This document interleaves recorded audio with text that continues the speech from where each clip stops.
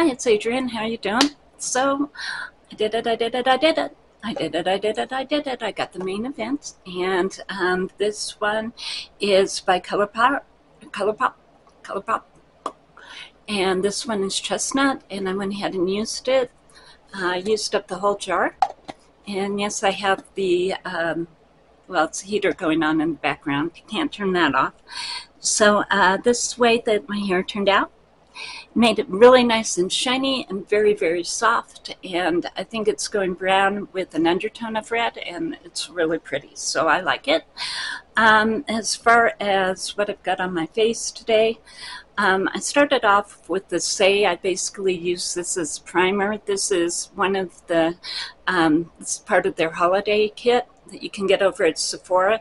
And you can use this as a highlighter or um, as a uh, primer.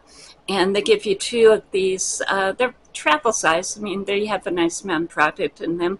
Um, but yeah, I'm liking that. I went ahead and used it along with the Pretty Fresh Foundation by ColourPop. This one's in 30 Fair, and it was a little light, so I mixed it with the Sol Face and Body uh, bronzer in Fair. This is a sister company to ColourPop. You can get this on the ColourPop website as well. And then, of course, I got the Mane Event, the chestnut color um, from ColourPop. I got this on their website. This, I don't think this is in Ulta yet. I'm pretty sure you have to order this. Ah, finally, um, off of their website. So uh, that's what I have on there. I did go ahead and use the ColourPop Avila Beach as far as, um, yeah, the bronzer that I have on. And I went ahead and used the ColourPop Pretty Fresh as far as, uh, yeah, the concealer as well. And then with the mascara, I went ahead and used Sky High by Maybelline, and I mixed that with the Uoma, the Drama Bomb. The Drama Bomb is from the Uoma, um, the Uoma collection that you can get at Ulta.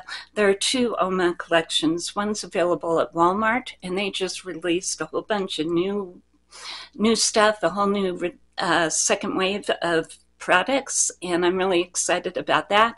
Um, but this one, the Uoma, the Drama Bomb, this is from the more expensive collection that you can get over at Ulta. So that's what I have on as far as my eyes go. I did go ahead and use the Starkist. This is by Essence. I really like this. Um, it's a blusher, bronzer, and highlighter all in one.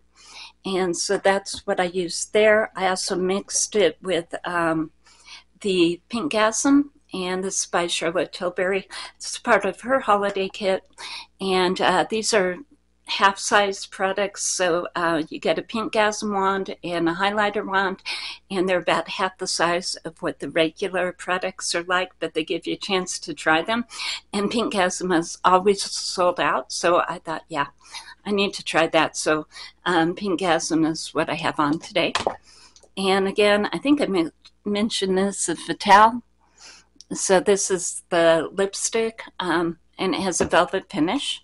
And then um, I'll go ahead and put some of this on. This is the NYX Cosmic Metals lip gloss. Oh, yeah, break time. Everybody reapply. So, uh, yeah, these two are uh, what I have on the lip today.